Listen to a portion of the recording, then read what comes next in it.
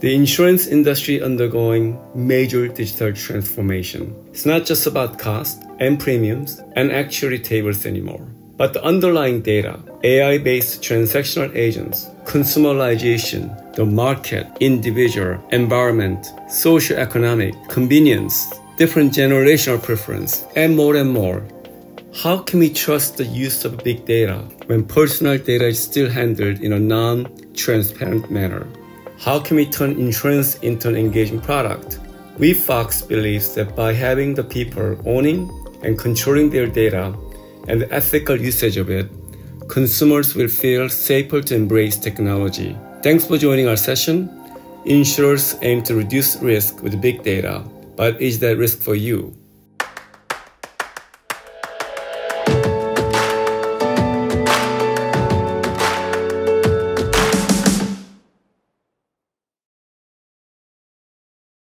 Julian, good afternoon.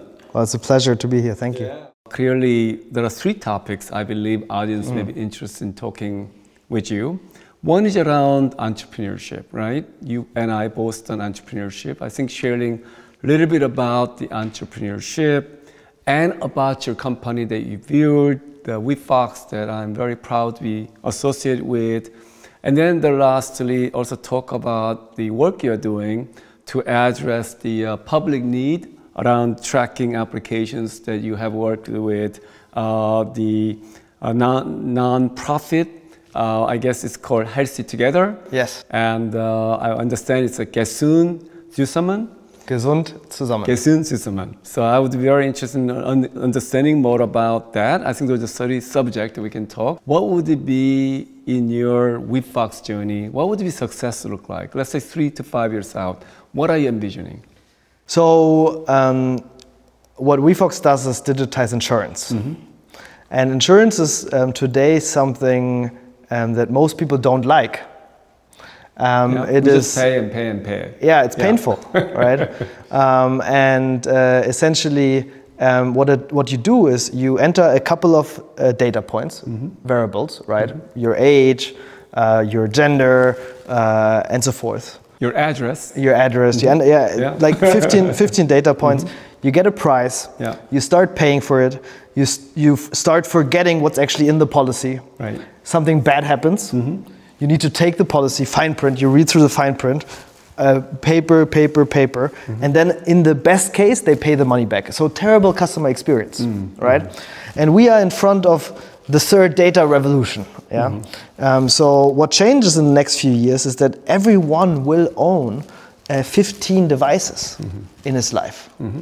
um, and the amount of real-time data that's collected about people um, is so much more valuable to understand people's risk. Mm-hmm. So the third data revolution, the IoT data revolution, will have a big, big impact on any industry, mm-hmm. on every industry, mm-hmm. but on insurance especially big, uh, because insurance is based on data. Right. And what we believe is that um, what we can contribute to is turning insurance into a really engaging product, mm-hmm. into a product that people love um, and that provides real safety. Mm-hmm. Um, and um, what we see is that based on contextual data, so mm-hmm. knowing much more about customers in real time, mm-hmm. we can understand what is their risk right now, mm-hmm. and we can also help them reduce the risk that they're exposed right now to prevent mm-hmm. something bad from happening. Right? So, Julian, if, if I can translate it a bit, the old industry was really based on traditional demographic driven, mm. and which is basically your age, your address, probably dictate your risk profile much more than what you really are. Exactly. Whereas today, with number of IoT device, you know so much more about the way we live, our habits, and our behaviors, and what we even consume, and how we even drive all those information will give much better insight around, around personal risk profile. So demographic to personal, and that journey is through digitalization. Absolutely. And that is what's going to disrupt this industry. Absolutely. Right. And it will become such a beautiful product mm-hmm. um, because it will become a friend in your life that gives you advice on how to live a longer, mm-hmm. And happier life mm-hmm. without the terrible tragedies. Mm-hmm. And because today insurance is only there to pay after something terrible has happened. Right. But if we can prevent the terrible things from happening, we can make people live longer mm-hmm. and increase the quality of their life. So basically, knowing a lot about us. This information is not only about risk, understanding the risk, but it really is about behavior change. Absolutely. It's about the change that's going to make us live better. And because we all know more about where we are, what our risk is, we can change the risk by being more proactive, by doing more exercise, or by eating the right food, or not going to the bar as much, all that type of stuff. Is that what you're saying? Absolutely, and uh, of course, the freedom of the individual Right. and the ethical usage of data. These two things are central. Um, Mm-hmm. uh, but if we nail these two things, um, uh, then this is the future, and we're talking about one of the most engaging products uh, Mm-hmm. of the future of humanity. So let's talk about this kind of the other side of any data, which is about really about two areas in my view. One is around security of your data. And the second aspect is really privacy of your data. And these two are fundamental to, in a way, human rights. And if you violate that, then that'll become a compromise that people doesn't want to take. So how do you manage the, your data, your client's data, and also providing the right advice that are relevant but not yet violating that principle? So I think we have to differentiate between a pre-consciousness time and a post-consciousness time about data. And we still live in the pre-consciousness time about data. Um, so we live in um, uh, the what I call second data uh, revolution, uh, the internet. Um, and in the last uh, 20 years, uh, what has happened is I told Facebook uh, what I like, I told Google uh, what I'm looking for. The data went through my mind, and I communicated it actively. Um, and that has led to a certain consciousness about usage of data. I give you data, I receive value, I like it, right? Now with IoT devices, the world changes, and will create a post uh, con- uh, data uh, consciousness. Um, and uh, this is really because um, these devices in my life they will talk directly to Facebook, directly to Google, and the data will not go through my own consciousness. So, they, uh, Facebook and, and Google, they know more about me than I know about myself consciously.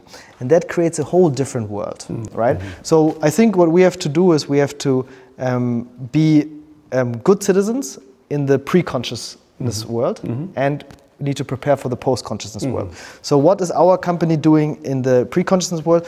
It's really um, acting um, uh, with uh, the categorical imperative of Kant.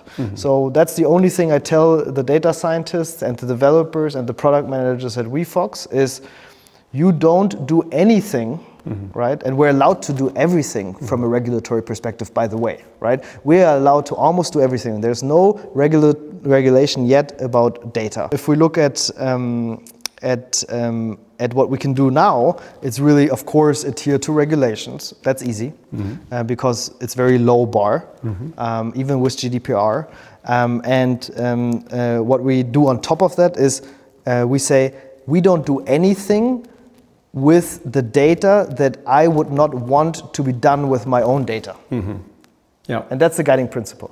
But post um, this uh, consciousness of data um, that will come over the next five years is actually accelerated through COVID. Uh, we need a new infrastructure, a new global infrastructure um, that goes into um, what you said uh, data privacy and data security. And the answer can only be that the new paradigm must be that data is owned by the individual. Yes. And data is stored on decentralized uh, storage. where your device is at. Basically, data should belong to the owner of the device rather than data being going up and then owned by someone else. I, I think that principle is really critical. It's something that Samsung believes in. We Yeah. always try to say, your data belongs to you. Let's change subject a little bit to your journey. So tell me about uh, the journey that you're making as startup to scale up. What are some of the lessons that you have learned and what you're willing to share with other CEOs who wants to be a scale up? Mm. So um, you start on day one in the living room uh, at the table uh, with your co-founder um, and you build a friendship and you build trust.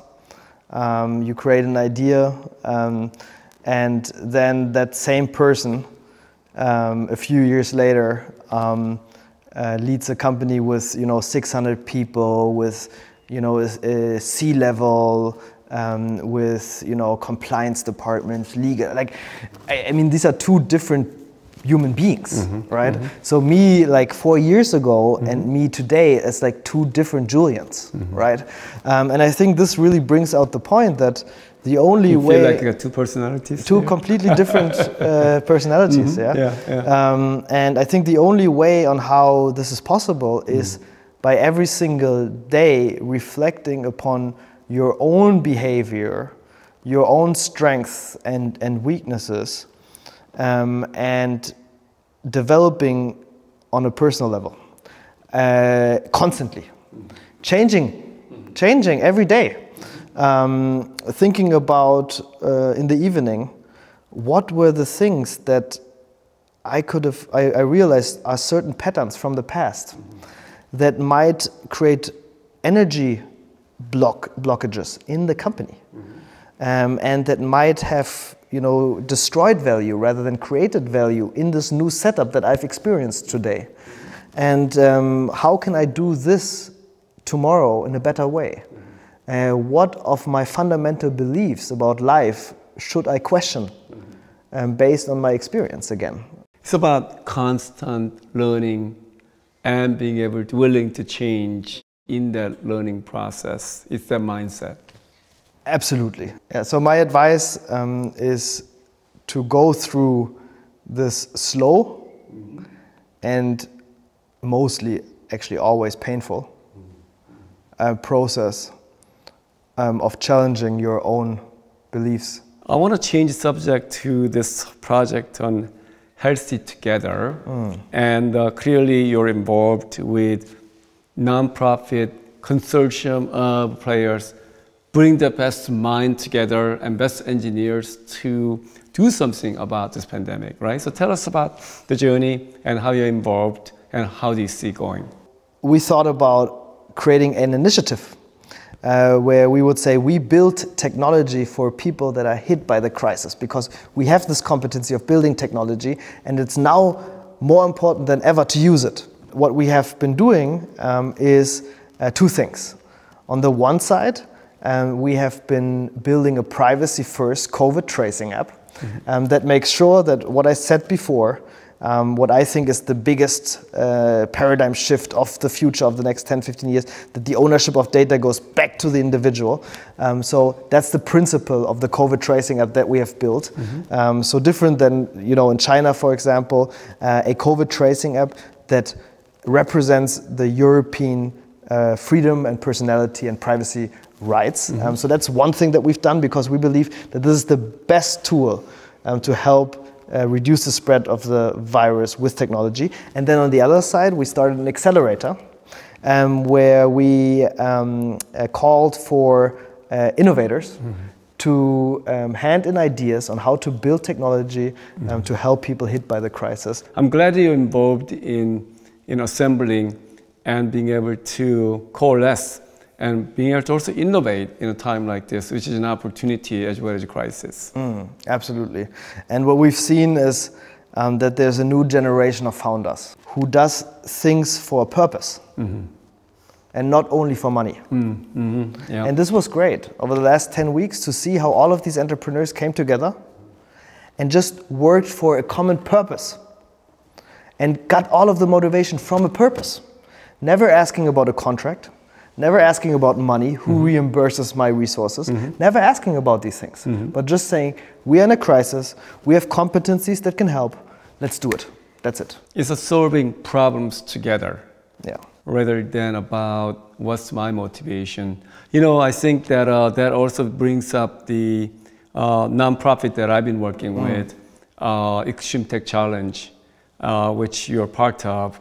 And uh, um, the idea behind the Extreme Tech Challenge is about helping really startups to focus on UN 17 sustainability goals, whether it is education, whether it's a health, whether it's a poverty, or uh, inclusiveness. Mm. Uh, all those things need to be looked at by, and I think technology can help, and we want to mobilize startup ideas like your accelerator idea to help and solve these problems.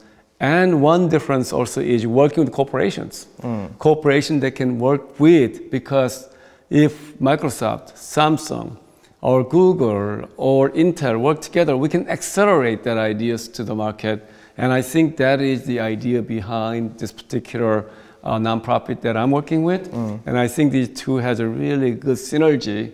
It's a new world. It's a new world. Um, and uh, it's really people not just asking what's in it for me, mm -hmm. uh, but what's in it for us. Thank you, Julian. Really well, appreciate your time. It's a great conversation. Thank you so much, right. Young. Wish you the best with uh, Journey as well as some of the uh, impact work that you're doing. Thank you so much, Thank Young. You for okay. the invitation. Appreciate that.